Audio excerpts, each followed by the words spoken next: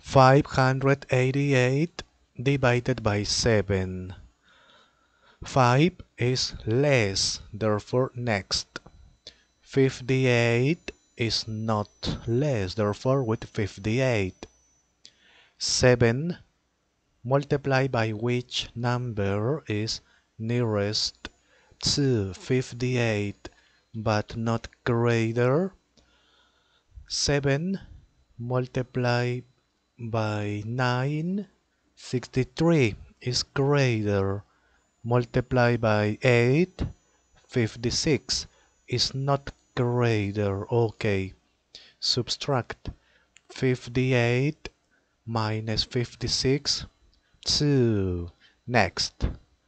28 7 multiplied by 5 35 is greater.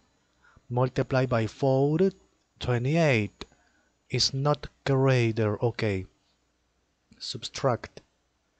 28 minus 28 0 next. There is not number. Therefore finish it.